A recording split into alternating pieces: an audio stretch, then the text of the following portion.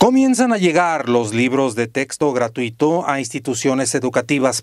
Así lo confirmó para Grupo B15 la profesora Elizabeth Vega, jefa de región federal.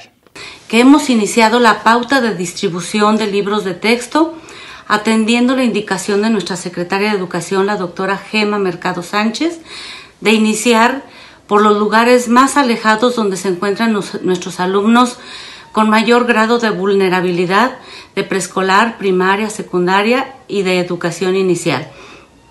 Por ello, eh, conforme han llegado a esta dirección los libros de texto, hemos iniciado la distribución, en este caso particular en preescolar y en secundaria, que fueron los libros que, recibimos en un primer momento.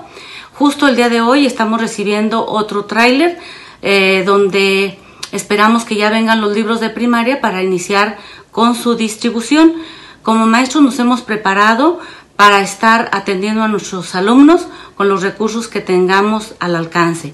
Y como ya sabemos, está muy próximo eh, el inicio de clases eh, a distancia con el programa Aprende en Casa 2 que ha impulsado el gobierno de la República a través de la Secretaría de Educación Pública y que aquí en esta dirección regional estaremos haciendo lo propio con la representación de nuestros jefes de niveles y eh, un alumno de cada uno de, estos niveles y en cada supervisión, en cada escuela, estarán haciendo lo propio para darle significado y relevancia a esta fecha histórica tan especial.